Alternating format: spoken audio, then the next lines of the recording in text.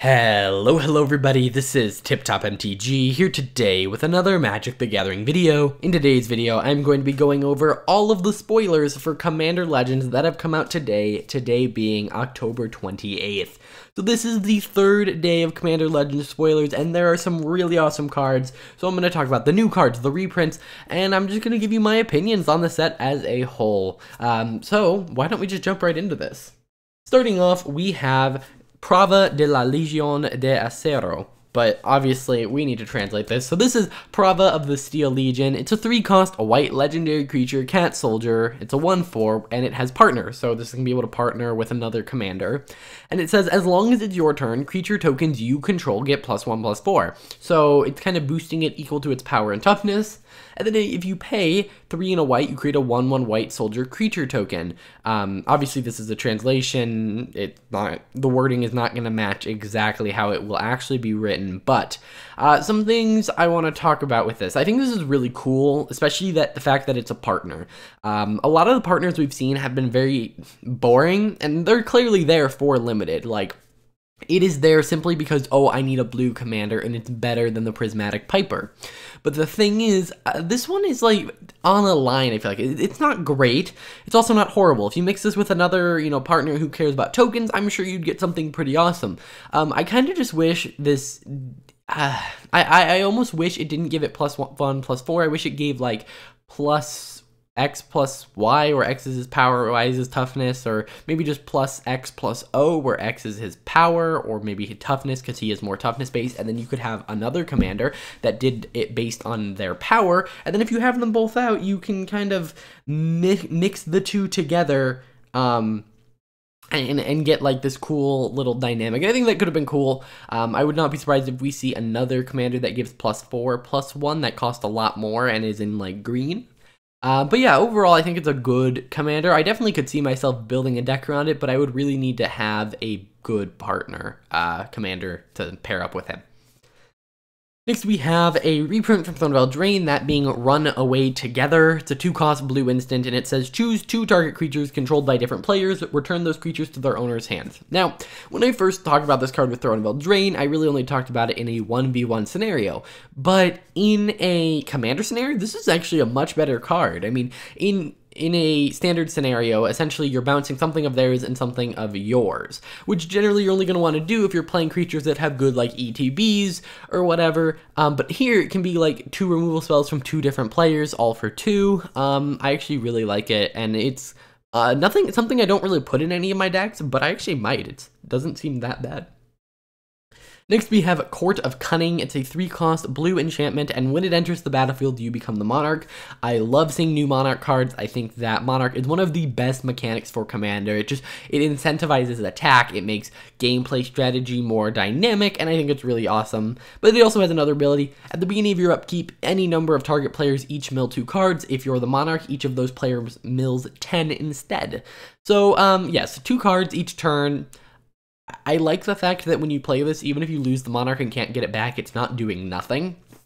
Um, but two cards isn't great. However, since it can hit any number of players, you could be milling between 0 and 8 cards from players. Um, because it doesn't say opponent, you can mill yourself, so I could totally see this going in like a Monarch, maybe self-mill, or maybe not even Monarch self-mill. This just works well in a mill deck. You're gonna mill two naturally every turn, and if you can manage to get some sneaky damage through with your utility mill creatures, then you can kind of start milling 10. Um, so it is a little bit difficult to pull off though because it is a beginning of upkeep trigger, meaning you do have to play this and then survive to be the Monarch uh, for a full rotation. And if, even if you lose it and can get it back, you have to basically survive a full rotation without losing the Monarch to actually get that mills 10 cards. But if you do, you're milling someone 10th of their deck, whether it's yourself because you want to resurrect something or your opponents to actually mill them out. So yeah, I like the card. Uh, more Monarch is good.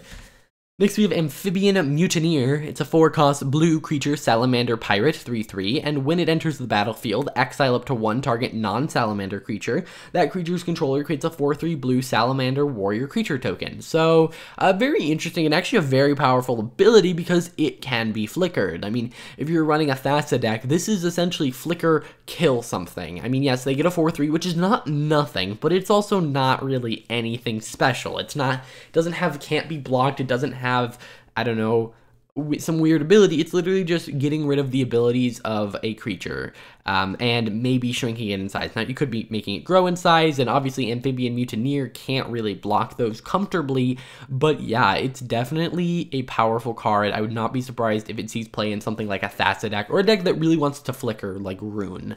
Um, then it also has Encore 6, which is great because if, say, you're playing with four players, you're going to Encore for 6, and then you get to kill three things. Um, and it doesn't have to be the one that it's attacking because it's an ETB trigger, and that's pretty cool. So yeah, I have overall, all of the new cards that have come out today, I think are really fascinating. I mean, in the past, we've had some that are just like, uh, I guess. But here, these are all cards I would love to put into decks.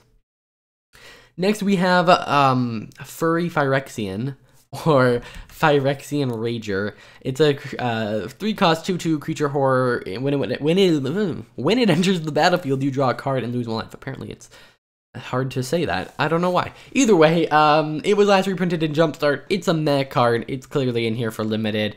Um, not much else to say about it.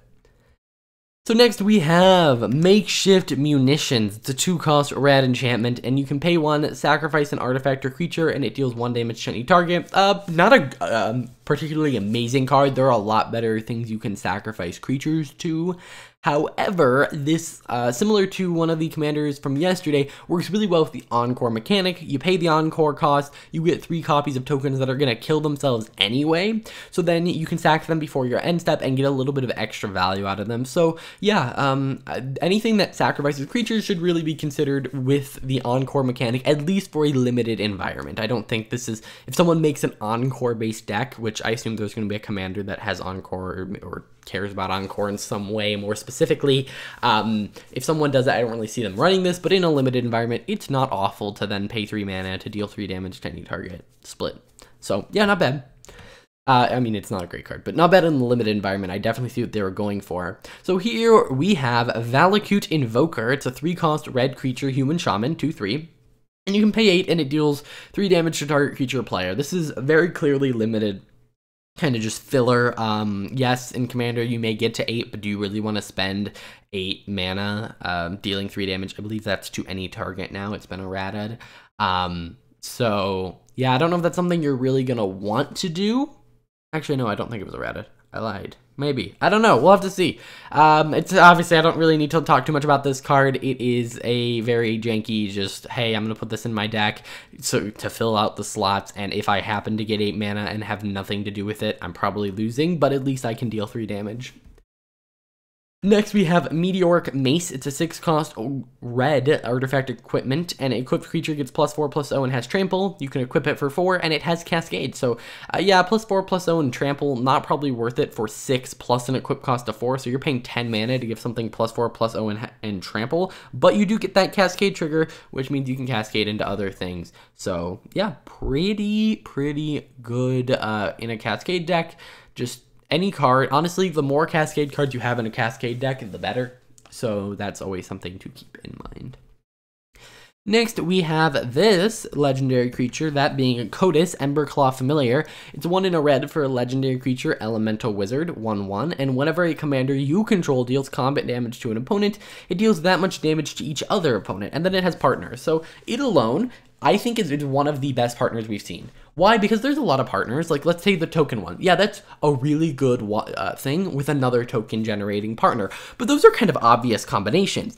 Kotis over here is just really good with almost any partner that wants to deal damage, which is a much vaguer, broader category that can fit with a lot of things. So I would not be surprised if Kotis, out of all the ones we've seen so far, becomes one of the most partnered with commanders, because if you have any Voltron partner commander, any at all, this is partnering with it, most likely because that would really help Voltron. Obviously, Voltron's kind of kind of want to win with commander damage, but if it can be, you know, killing two people with commander damage and then also killing the other two inadvertently, that's a big upgrade. So keep an eye out for any caring about hitting people um because Codis is going to want to partner with those people. So yeah I think this is going to be one of the better partners. I could be wrong though so I want to know your guys' opinion on Codis. I've talked with a couple people and some people think it's a really weak one but for me it's like it's a two cost and it just is it, it's so synergistic with a lot of different things. Also you may notice uh, the custom frame because I've started translating cards into custom frames. This is actually the F&M frame so I, I just thought I would kind of showcase the difference uh, you saw the little animation. The only real difference is that in the middle, there's the Commander Legends logo instead of the Planeswalker logo, and the power and toughness of the creature is more red. But that's pretty much the big difference between the frames, which is kind of meh, um, uh, in my opinion. It seems kind of rushed. But yeah, I actually think Codis is going to be a fairly popular Commander uh, partner. Obviously, he's not going to be the star of the show, but he'll be a nice little addition. Next we have Port Razor. It's a 5 cost red creature orc pirate 4-4, and whenever it deals combat damage to a player, untap each creature you control. After this combat phase, there's an additional combat phase. Port Razor can't attack a player, and it has already attacked this turn. Okay, here's what I'm thinking. Without looking at any specific cards, well, I have one specific card in mind, Moraug. Moraug's a card that cares about how many times you've attacked, and it's going to boost your creatures based on that. So Port Razor mixed with Moraug is going to just be extra, extra combats. Uh, essentially, if you can make Port Razor unblockable, he essentially can untap your creatures three times. Couple things to note, he untaps each creature you control, not each creature who attacked the player you dealt damage to, not each attacking creature, but just each creature. So even your little mana dork that are just generating you mana are gonna get untapped. Similarly, you can send Port Razor at one person and then the rest of your creatures at someone else. And then send Port Razor at another person and then all your creatures at that person you attacked the first time. So your opponent can really be mean to you if they let Port Razor just hit your opponent. Like, your if say you're the arch enemy and I play this, I can hit the other two people twice, and then I get three combats. Uh, pretty insane card. Gonna want to go with Moraug. It's gonna want to. I don't know if there's any cards like this, but if there's a way to switch like who it's attacking, maybe, um, you might be able to do something interesting here. I'm trying to think because it's about dealing combat damage. So if you don't actually attack with it, um, hmm, does this go infinite with Ilharg? Because Ilharg, what it does is it enters the battlefield and it sends out a creature attacking, but then you have to declare who it's attacking. So I wonder how this goes with Ilharg, because what Ilharg would do is it would give you extra combats, but I guess it wouldn't bounce it back to your hands. You can't just go back. Hmm, this card is really perplexing, and I would love to see what little combos you can do with it, because I'm sure there's something. Next we have a vault, a sorry, a creature that has not been reprinted since from the Vault 20, and it is Fiend Fyndhorn Fyndhorn Elves. It's a one cost, one one creature elf druid and can tap to add a green to your mana pool. So it's essentially Llanowar Elves, but it's another version, so you can run Llanowar Elves and these. So pretty good. Next we have another elf, we have a Farhaven Elf. It's a 3 cost green creature elf druid, and whenever it enters the battlefield, you may search your library for a basic land card, put it onto the battlefield tapped, and then shuffle your library. So just ramp on a creature, um, in my opinion, not a card I would want to play. Uh, you kind of have to look at the mana cost. So for 3, you could cast Cultivate, which is essentially you're going to put the land on the battlefield tapped and shuffle your library. So would you rather have a 1-1 or an extra land of your choice in your hand? And that's kind of what you have to value. Now, of course, uh, when I'm comparing two cards, you can now run Cultivate and Farhaven. And of course, this is just a reprint, so there's not too much talking about this. But uh, not a big fan of this card. Next, we have a Natural Reclamation. It's a 5-cost green instant. Destroy target artifact or enchantment, and Cascade. Um, yeah, I, they seem to be just throwing Cascade on standard effects. We had Counterspell, and now we have Natural Reclamation. So, yeah, I would not be surprised if we see, like, a cycle of, like, five or six cost, five cost, uh, like, you're gonna get a white one that's gonna, like, gain you a bunch of life. You're gonna see a black one that kills creatures and then we're going to see a red one that's dealing damage or something. Just something the color likes to do and in a very basic effect, but with Cascade. The advantage to this, obviously, is that you kind of get a two for one, even if the spell is more complex. My only issue with putting it on removal spells is generally when you need to use a removal spell, you need to use a removal spell, so having it cost so much, you know, yes, you're getting this added benefit from it, and obviously using removal spells that interact with your commander and the rest of your deck is good, but if you can't use your removal spell because it costs too much, then you start running into problems problems. So uh, I think you'd really have to look at your deck and decide if this was worth it. I think it would be, but also if you cascade into this, mm, not a great target, and there's not a tar great target to go, and then you want to trigger the cascade, so maybe you target something you don't want. I don't know. I'm kind of mixed about this card, but generally, probably you're going to want more cascade cards than not, so who knows. Next, we have another reprint. This is Imperious Perfect. It's a three cost green creature elf warrior, and it says other elf creatures you control get plus one plus one. So it's just going to boost all your elves, and then you can pay a green tap and create a 1 1, which, uh, because it's an elf, will actually be a 2 2 as long as the perfect's on the battlefield. Really good in an elf deck. Why? Because it's generating elves. That's generally what they want to do, and it's boosting them too. So uh, this is pretty much a removal magnet, and it's pretty good. So it's good to see it be reprinted. We've seen a lot of elves in black and green, so I would not be surprised if that is the black and green limited kind of theme. So that's interesting.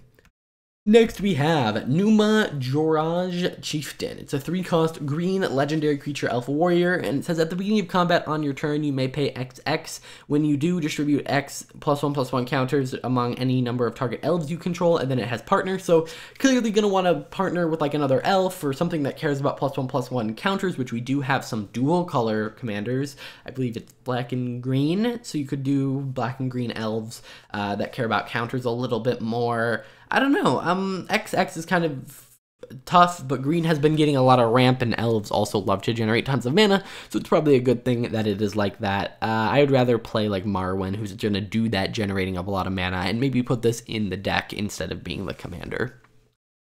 Next we have Immaculate Magistrate. It's a 4-cost green creature elf shaman, and you can tap and put a plus 1 plus 1 counter on target creature for each elf you control. So it works really well under a Marwyn deck, because Marwyn's going to care about her power, and it's going to care about the number of elves, and then add mana equal to that. So pretty good there. It was last reprinted in Commander Anthology, and for those of you who don't know, whenever a rare or mythic is a reprint, I put the value of it uh, um, in USD as of card Kingdom's prices as of today, meaning that if you're watching this in future, this price has probably gone down. So yes, I know. Um, I feel like I always get these comments, and it's fine. It's just the prices are going to go down from the time of release and when you watch it, probably. So next we have Kamahl's Will. It's a four cost green instant and it says choose one. If you control a commander as you cast the spell, choose both. So we had one of these called Svat's Will. Uh, and so it looks like we're getting a cycle or at least a part cycle. They don't have to technically finish it. Uh, and it says until end of turn, any number of target lands you control become 1-1 elemental creatures with vigilance, indestructible, and haste They're still lands, or you can choose target creature you don't control. Each creature you control deals damage equal to its power to that creature. Um, so interesting. The bottom one is essentially going to kill your. If you can cast both, you are getting a pretty big army, and then you're killing them.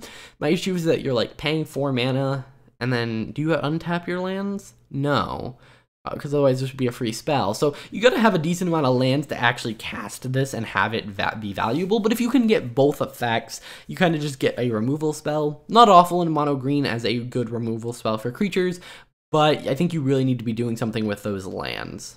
So yeah, I think if you can do something interesting with the lands, definitely. But it's not as uh crystal like it's not as good in my opinion as Svat's Will, who is both effects are just generally pretty good. This one it's like, eh, well you you you're paying four, and then you need to still have your like lands open to do things, and they're only one ones, and I don't know.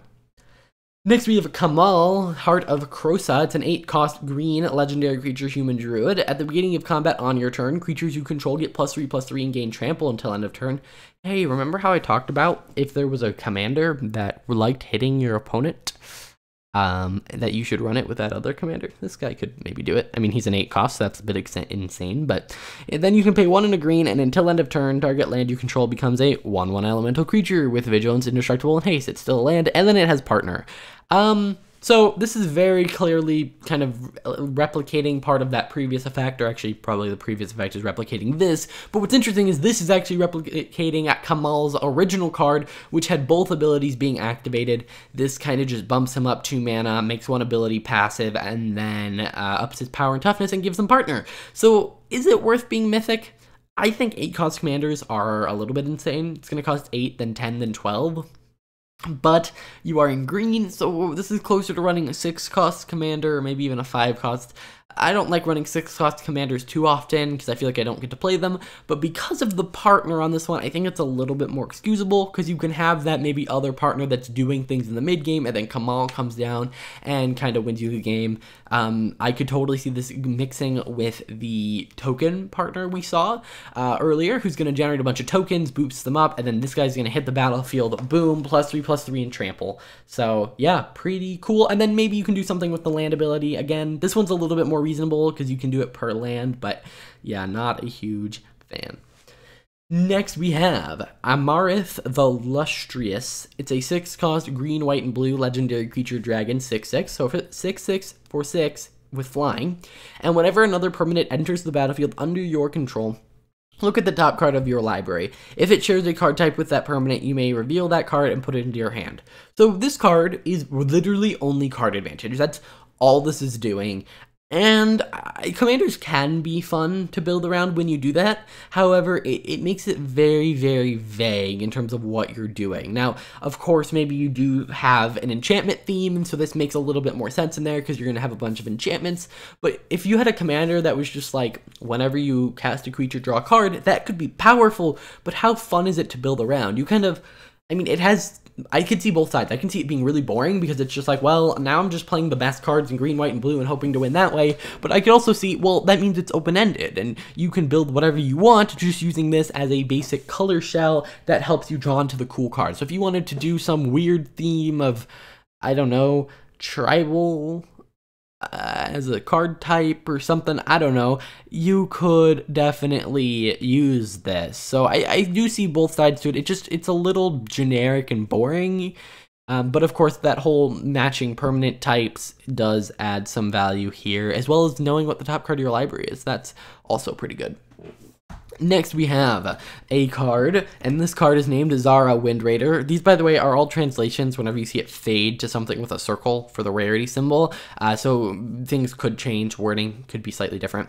It says it's a legendary creature, human pirate with flying, and whenever it attacks, look at the defending player's hand. You may put a creature card from among those cards onto the battlefield under your control, tapped and attacking that player or planeswalker they control. Return that creature to its owner's hand at the beginning of the next end step. So yeah, you're essentially just looking at their hand, which is already really awesome, and then you get to take one of their creatures and hit them with it. This can really backfire if your opponents aren't playing creatures, but generally they probably are. Now, you, of course, you do need to be able to attack with Zara in order to get this trigger, um, but I do think it definitely has some room, room for interesting interaction. For instance, anything that flickers a card and returns it to, quote, your control, not to its owner's control, can you can flicker it and then permanently gain control of it. So if someone has an Elesh Norn, first off, that's devastating because it has kind of an instant impact when it hits the board, but also then you flicker it, and then you get to keep it forever. So I think I'm going to build a deck around this. Like, legitimately, probably one of my favorite commanders they've revealed so far. Next, we have Yurlok uh, of the Burn Thrash. It's a one black, green, red for a legendary creature, Viashino Shaman, and it has Vigilance. And if a player loses unspent mana, they lose that amount of life.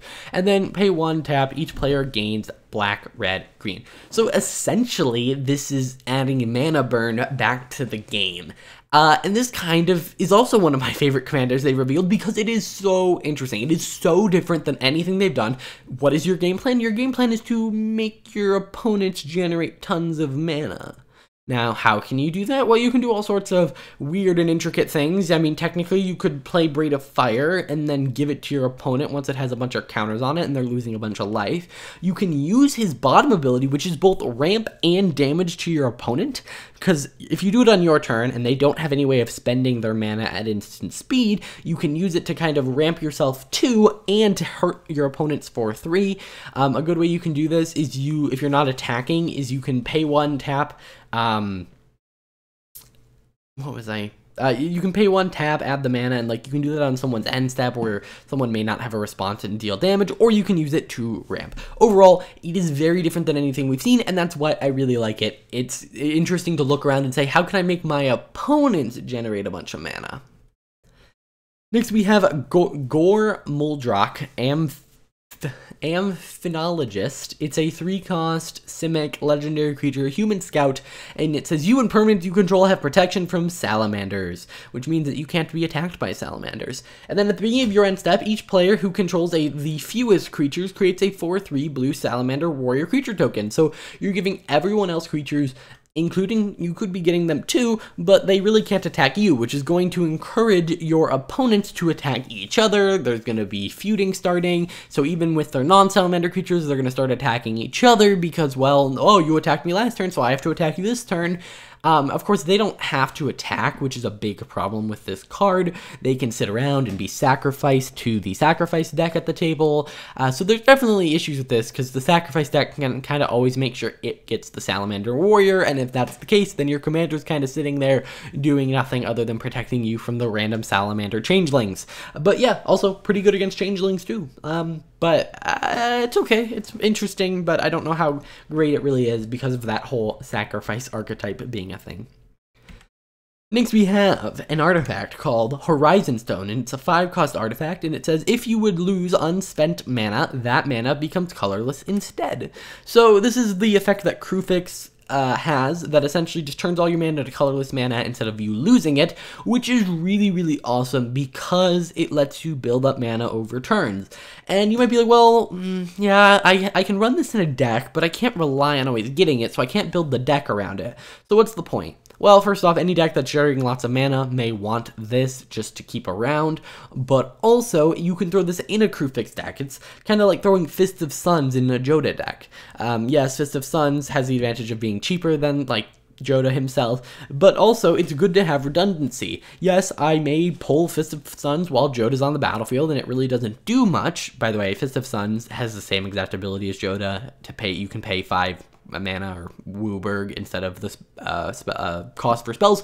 But also now if my opponent kills my Jodah, I get an artifact version. And so this is very similar. Of course, Kruphix has indestructible and is sometimes not a creature, so that definitely protects it and may make this less valuable than, say, Fists of Suns, but I do think it is an interesting card, and it's colorless, so it goes into any color, which I think is a big deal. The fact that blue can now kind of have this mega ramp on its own is kind of crazy.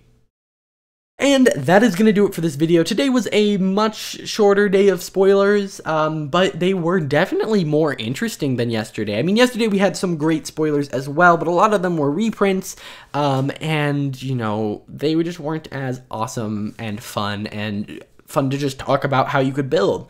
If you guys have any comments about any of these cards, let me know in the comments down below. If you enjoyed the video, hit the like button. And if you want to see more awesome content like this and even more, uh, hit that subscribe button. I will see you guys in the next one.